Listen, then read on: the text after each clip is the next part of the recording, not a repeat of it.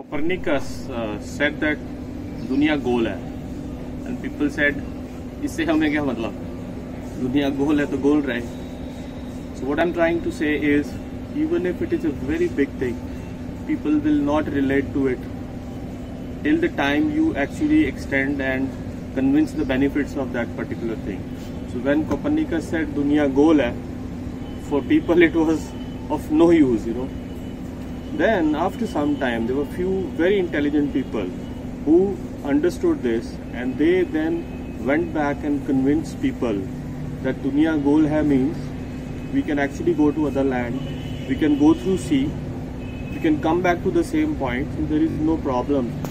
world is not flat you know हम कहीं गिरने वाले नहीं हैं so we can go around we can hunt and so it will create more jobs we can get more wealth we can get more gold we can go to new lands so we can have real good benefits if we utilize this fact that dunya goal hai. What i'm trying to say is unless you tell the benefit to the common man people will not give a damn. So politicians entrepreneurs bollywood storytellers they are very good at this. They tell you the benefit of something so that people can relate to it and can avail benefit out of that all the very best